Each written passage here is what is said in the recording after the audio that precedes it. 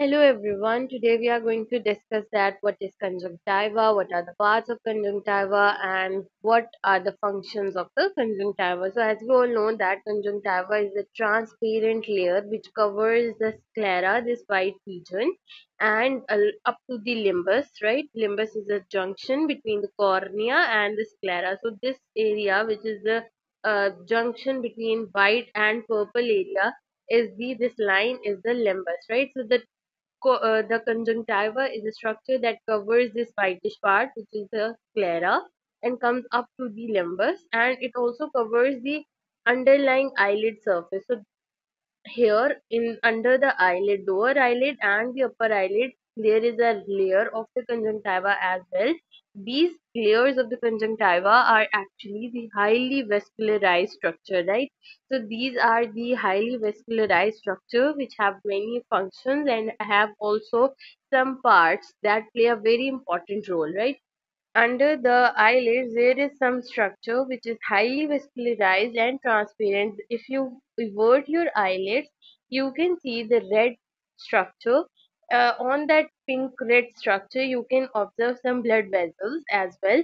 So basically, those blood vessels are on th- that pinkish area is not the conjunctiva, but it is the uh, tarsal plate and other structures, but the conjunctiva is the uh, transparent structure which is having the blood vessels which you observe on eversion of the eyelid. So those blood vessels on the pinkish surface is the basically transparent structure, right? That is why you observe the back surface because the conjunctiva is the transparent structure. So here you can observe that this is the conjunctiva, right?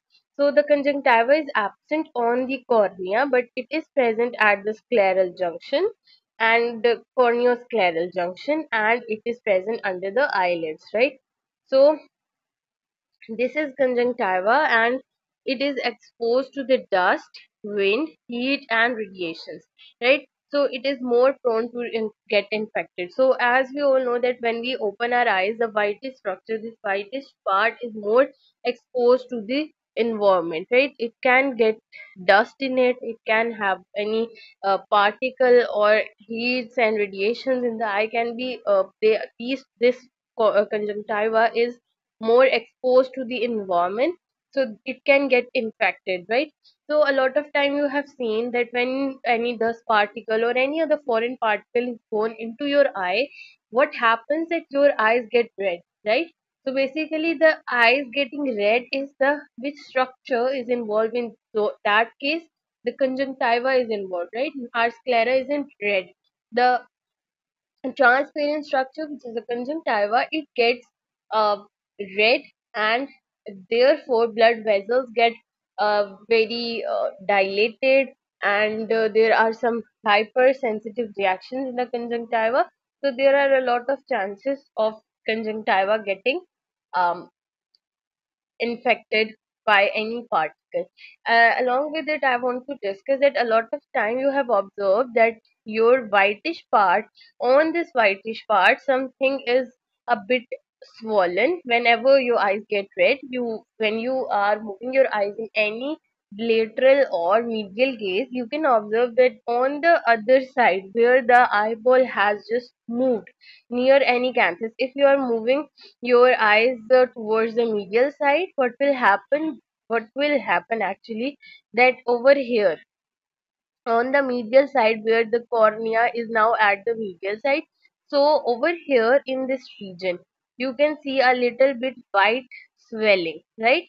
So you can observe the white swelling uh, transparent transparent swelling over there so the structure that is swollen that transparent structure on the whitish area which is swollen is actually the conjunctiva. So it is just an um indication of you or it's a way to just introduce yourself to the people who don't know about conjunctiva and are new to the field of optometry so they can understand that what is conjunctiva right? So that is why i'm explaining that whenever you are um, facing and facing a time when your conjunctiva gets red your eyes get red just observe it. Whenever you move your eyes in any of the gaze lateral or medial what will happen if you see towards the nose your move if you move your eyes towards the no, uh, nose what will happen that you can observe a transparent structure which is swollen right? So that uh, swollen structure is the conjunctiva. Basically i want to differentiate these structures. Uh, i want to you to differentiate the sclera and conjunctiva. That is why i want you to observe. If you see any case of red eye um, anyone who is experiencing red eye you can observe this uh, difference between the sclera and conjunctiva with this uh, technique, right? So we are done with the conjunctival introduction. It is actually the thin, translucent and vascular mucous membrane which covers the eyelid. Over here you can see it is covering the eyelid, inner surface of the eyelid and it also covers the anterior eyeball which is the sclera. It covers the sclera up to the corneo, corneo scleral junction, which is the limbus. So limbus is the junction where the this junction I, I repeat that the uh, limbus is the junction between the cornea and the sclera. So this is cornea and this is the sclera, and this line which you can observe here, this line which you observe here is the corneo-scleral junction or the limbus, right? So now there are different parts of the conjunctiva. As we have discussed that there is a conjunctiva which is on the white surface which is sclera and uh, there is a conjunctiva that is present under the eyelid. So we have differentiated the type parts of conjunctiva on the basis of its presence in different parts, right, or in different structures. So if the uh, these parts are palpebral conjunctiva, then is the bulbar conjunctiva, fornix, and the fourth one is the plica semilunaris, right? So, uh, on the basis of the presence of conjunctiva in different structures, we have differentiated the parts of conjunctiva, right? So, basically now, the bulbar conjunctiva is the part of the conjunctiva that is present on this whitish structure, right? So the structure or the transparent membrane which is on the sclera or the whitish area is the bulbar conjunctiva. So now what I was saying that on the basis of the presence of conjunctiva on different parts. So the conjunctiva which is on the sclera is the bulbar conjunctiva in simple words. It covers the anterior part of the eyeball. It is loosely attached to underlying tissue. Sometimes you have observed that there is some transparent structure that moves up and down on the surface of the white area which is the sclera. So that transparent structure that is moving up and down is the bulbar conjunctiva. And why does it move? Because it is very loosely attached to the this tissue or this is very loosely attached to the sclera. That is why it can move uh, it it gets detached from it a lot of times right? So they are saying that on the surface of the sclera, the bulbar conjunctiva is not firmly attached, it is loosely attached. So there are chances that this conjunctiva or this transparent layer can move up and down and it's normal, right? Because it's not tightly attached. But this conjunctiva is very tightly adherent to the Tenon's capsule, which is 3 millimeter around the limbus. So there is a Tenon capsule. What Tenon capsule is, we are not going in that detail. But I just want to tell you that the bulbar conjunctiva is loosely adherent to this whitish structure, but near the limbus, near the corneo, near the corneoscleral junction, there are around 3 millimeters, right? You can see this structure. So around 3 millimeter, there is a Tenon's capsule at which the conjunctiva is tightly attached. So at or near the limbus, the conjunctiva doesn't move, right? Or it cannot displace or detach. So it can move in the region that is away from the limbus, but the conjunctiva is very tightly attached to the uh, on the area or near the area of the limbus, which is the Tenon's capsule area. That is why it is still or it is staying on the eye, right? If it is loosely attached, all over the eyeball. If the bulbar conjunctiva is very loosely attached all over the eyeball, what will happen that it can move out, right? It can move, it can be moved out. It can, uh, we can face very difficulties if it was very loosely attached on all over the eye, uh, eyeball. That is why it is very loosely attached um, away from the limbus and is tightly attached to the limbus or near the limbus so that uh, the bulbar conjunctiva can stay on the eye. So now we have the palpebral conjunctiva. As I have already told you that this is the conjunctiva which is under the eyelid. So the part of the conjunctiva that lie under the eyelid is the palpebral conjunctiva. So the conjunctiva which was on the whitish part was bulbar conjunctiva. Now the conjunctiva that is under the eyelid so that when you invert your eyelid you can see that pinkish area or you can see the this structure right so when you avert the eyelid, you see these type of blood vessels are moving over here, over this transparent, uh, over this pink orange structure. This blood vessels and the transparent layer is the palpebral conjunctiva, right? And it is very thin. It is present on the upper and lower eyelid as well. So when you avert your upper eyelid, you can see the blood vessels, same structure. And when you avert the lower eyelid, you can see the same structure. So this is the palpebral conjunctiva and it is very thin and firmly attached. It means that it is not loosely attached. You can't see the separation of this conjunctiva. Uh, uh, as I have told you that bulbar conjunctiva is sometimes seen as moving or displacing from its position um, over the white surface which is sclera. But this palpebral conjunctiva doesn't uh, does not displaces and is tightly attached to the tarsal plate and cannot be dissected easily. So um, the, the tarsal plate is in the is a structure which is present in the eyelid. So that this pink orange structure which you observe is basically the tarsal plate and on this tarsal plate there is a structure which is transparent and has many blood vessels. This is the palpebral conjunctiva and the tarsal plate and conjunctiva are tightly attached to each other and cannot be dissected or separated easily, right? And other thing, uh, other than this is that the tarsal plate is the part of the eyelid structure and we are not going in that detail because we are just simply understanding the anatomy of the conjunctiva. Then we have the third structure of the conjunctiva that is the fornix, right? So what is the fornix? In the easiest way, the fornix is the uh, fold of the conjunctiva, right? Or if you can say that it is the junction between the bulbar and palpebral conjunctiva. So this whitish area was the bulbar conjunctiva and this pinkish area or this uh, the blood vessels or transparent structure on the pink surface under the eyelid was the palpebral conjunctiva. The junction between the bulbar and palpebral conjunctiva is the fornix.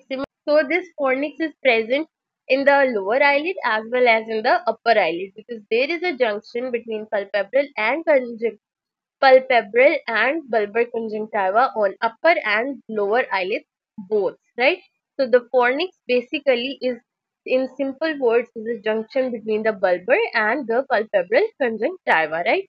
So these are the folds of conjunctiva formed by the reflection of mucous membrane from the lid to the eyeball. So you can just understand that it is the junction and it's actually the fold, a type of fold which is formed uh, by the separation of eyeball and eyelids, right?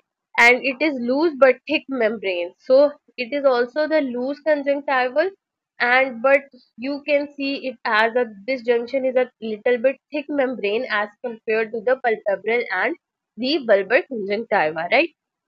Next, you can see over here this swollen area. If I would, uh, if you can observe this a little bit swollen area, which is more prominent over here, is when you uh, see a patient or a person with red eye or any allergy which causes her or his eye to get red, sudden redness in the eye.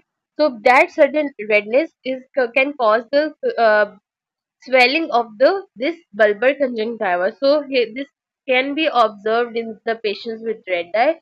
So this structure of which is present on the whitish area is the or the sclera is all the bulbar conjunctiva. So this is the sclera. This is a sclera. It's not present on the cornea. It's just present on the sclera, right? So this is the bulbar conjunctiva palpebral conjunctiva is the area that is under the eyelid. So this is the eyelid and under the eyelid is the layer which is the palpebral conjunctiva which you can see over here and the junction between the bulbar and the uh, palpebral conjunctiva or this fold. This fold you can see is the fornix, right? Conjunctival fornix. Now we have a fourth part which is the plica semilunaris which you have observed that at the area near your nose, right? When you observe your eye near the nose, you can see that you can see that there is a structure over here near the nose which is a little bit pinkish crescent area and there is some a lot of mass over here in the near the nasal part of the eye. So this crescent or this crescent area, this pinkish crescent area is the plica semilunaris of the this is a part of conjunctiva which is present on the medial or towards the nose area and it is the a type of fold or is a it is a crescent fold. And near this the mass which is over here at the medial corner it is a caruncle right? So we are not discussing caruncle we are just discussing conjunctiva. So i will tell you that what is plica semilunaris this is the fold of conjunctiva which is in a crescent shape and is present at the nose towards the nose right? Now this is also a fold of conjunctiva and it is present the at the near canthus this is highly vascularized. There are a lot of blood vessels in it and there are a lot of cells present in it which cells these are the goblet cells. Now what is the goblet cell? What are the uses of goblet cells? Uh, we are going to discuss in the further video right? So here you have to remember that it is a pinkish crescent fold of the conjunctiva and it is present at the near canthus which is highly vascularized means that there are a lot of blood vessels in it right and other than that is that it is rich in goblet cells there are a lot of cells in it and in the plica semilunaris which is the goblet cells so now okay so these were the parts of conjunctiva. So we have discussed the part of conjunctiva. Now what is the structure of conjunctiva or how do the conjunctiva looks like? So the conjunctiva has two basic layers. One is the epithelium which is the upper layer of the conjunctiva and the lower layer which is the stroma, right? The epithelium has two to five uh, layers of the epithelial cells. So epithelium is the uppermost layer of any structure, right? So it is the upper membrane of the conjunctiva which is epithelium and there are epithelium is made of some cells which is epithelial cells and there are two to five layers of these epithelial cells of the conjunctiva. So if you can observe a conjunctiva there will be 2 to 5 layer of the epithelial cells. Then we have the stroma. Now the stroma has a lot of blood vessels. As you all know that conjunctiva is now we have discussed that it is highly vascularized structure. There are a lot of blood vessels in the conjunctiva. So the stroma will contain the blood vessels. It will have some connective tissues and there are a lot of glands also in the conjunctiva. Right? So uh, the glands which are in the conjunctiva are glands of Krause, glands of Wolfring and there are also some goblet cells. I have told you that we will discuss in the further video what are these glands and cells, right? So we will discuss it in now further video. But you should know that what conjunctiva is made of. The first is the epithelium. Epithelium has some epithelial cell of 2 to 5 layers then we have the stroma. In stroma, there are a lot of glands, connective tissues, and blood vessels because we know that blood vessels lie in the conjunctiva.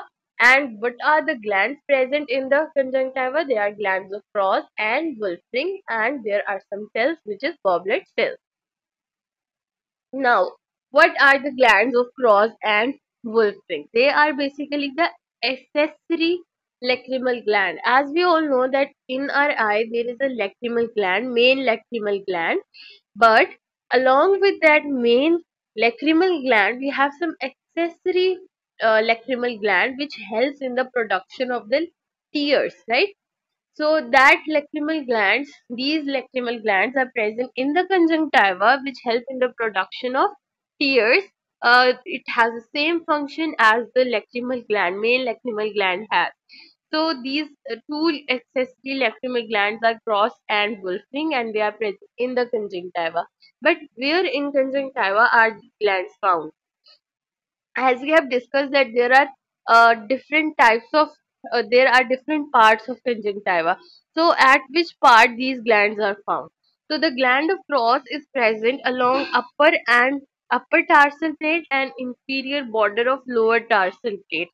So basically, uh, if I'll simplify this, it means that the Krause gland is present under the eyelids, right? So the, the gland of Krause is found under the eyelids, right, on the palpebral conjunctiva. You can remember it like that also. But the gl- glands of Wolfring is present at the conjunctival fornix, or the junction between the bulbar and conjunctiva, uh, palpebral conjunctiva. Now, these glands are basically part of the conjunctiva. These were the areas, so they are present in the conjunctiva and their function is the same as the main gland has, main lacrimal gland has. They produce tears or the aqueous layer, right? So, uh, they produce tear and they help in the uh, aqueous layer in the making of the aqueous layer of the tear film.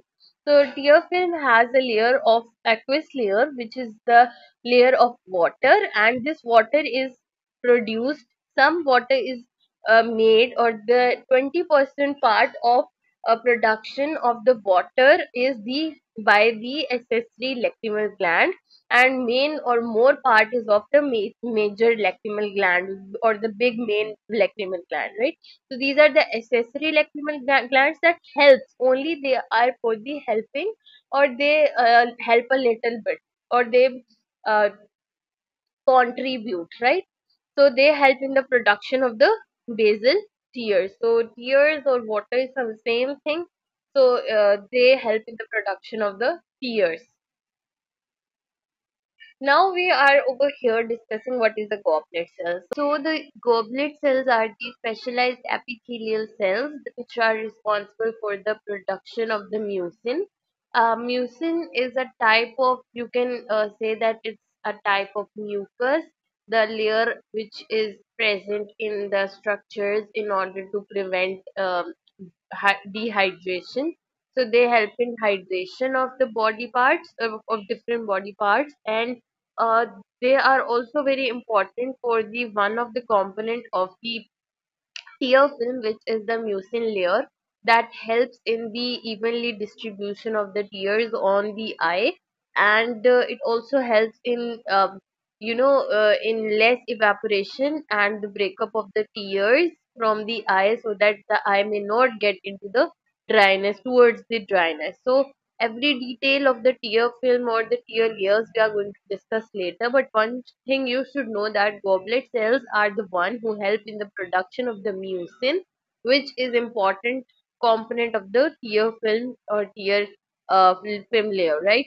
So this goblet cell is present in the conjunctiva as we have already discussed in the part which is the plica semilunaris and numerous uh, at the nasal area. So if I'll again discuss the plica semilunaris, it is present the nasal side. So that is why the goblet cells are most in the nasal area, right?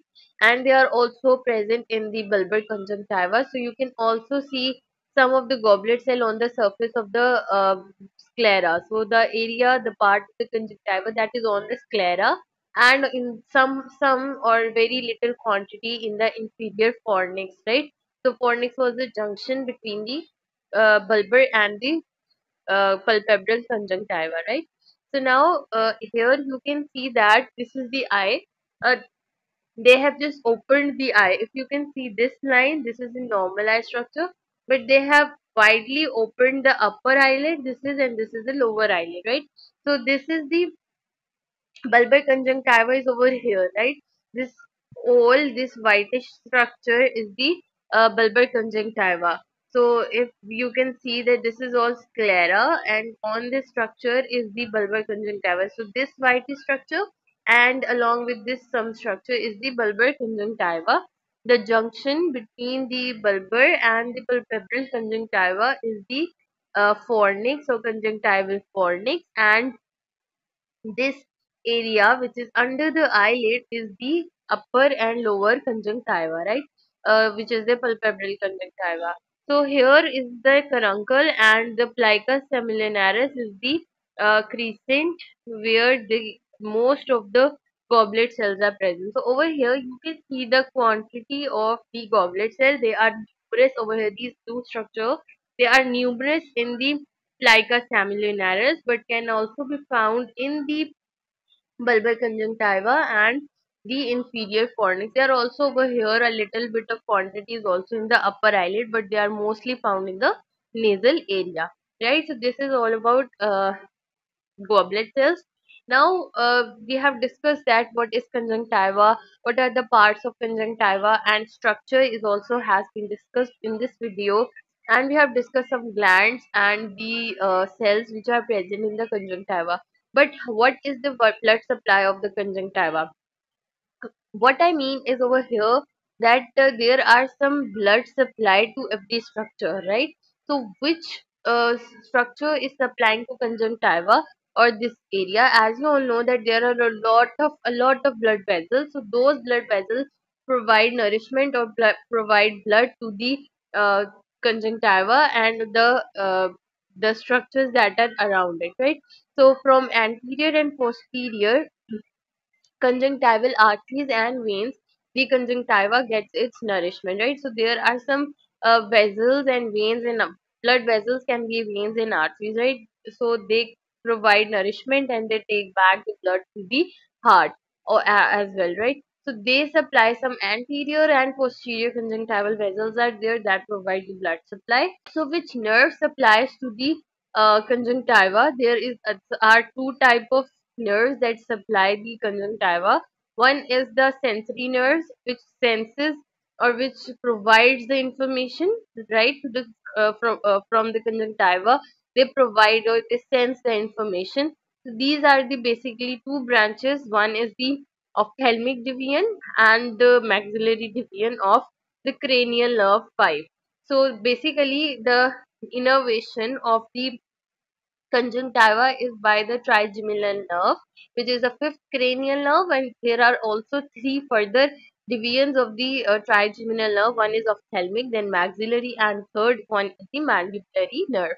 So the nerve supply of conjunctiva is that it conjunctiva is innervated by the ophthalmic and maxillary division of the fifth cranial nerve which is the trigeminal nerve.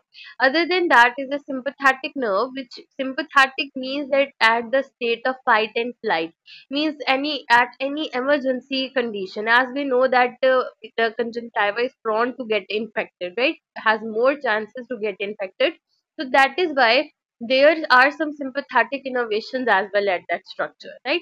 The sim uh, it's all similar to the uh, one which uh, innervations which are uh, to the pupil like whenever at the emergency state our pupil get dilated while in normal state our pupil is a bit constricted right? So it's similar to this. So the nerve supply to the conjunctiva in emergency situation is by the sympathetic plexus or it can also be the nerves that are in the spinal side. We are not going in that detail but you should know that there are some uh, sympathetic plexus. Plexus is the, actually the network of the nerves right? So it is actually by the uh, sympathetic innervations are coming from the spinal cord and uh, the sensory informations or in the normally state it is by the trigeminal nerve and with the two divisions one is ophthalmic and other is the uh, maxillary division right? So this is all about uh, the anatomy of the conjunctiva. We are we have discussed in the anatomy what is conjunctiva what are the parts structure and blood supply and what are the function of those glands and cells? And along with that we have discussed supply of the conjunctiva in case of any query comment in comment section and don't forget to like subscribe and share it with your fellows so that they may also get the information about this major topic. Thank you so much